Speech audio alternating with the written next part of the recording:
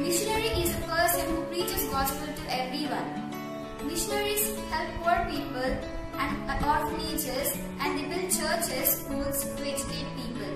Now, I'm going to say few words about William Tobias Ringeltaube. William Tobias Ringeltaube is the first Protestant Christian missionary in the far south of India. After five days of his birth, he was baptized and given the name seven years, he was in a quietness of his country home. After that, his father went to a place called Warsaw in Poland. There he spent his nine years in that city. Then, after during this time, he learned and educated by his father, Gottlieb Ringeltaube. Then he joined Halle University.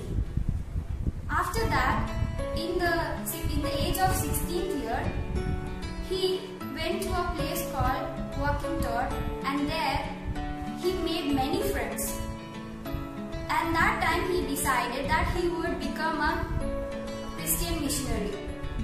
As soon as that, then he went to a place called Tar- Tarangampadi and he met a person, Maharasan Veda Manikam.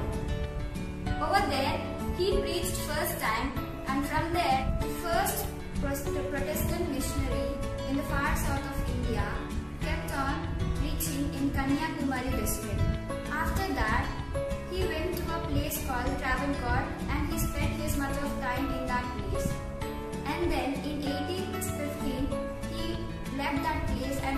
a place called Imba.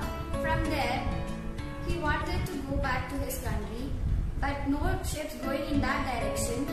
He went to another place. While he was going, he was suffering with liver failure, and then he was unable to survive in that ship, and the ocean was his grave.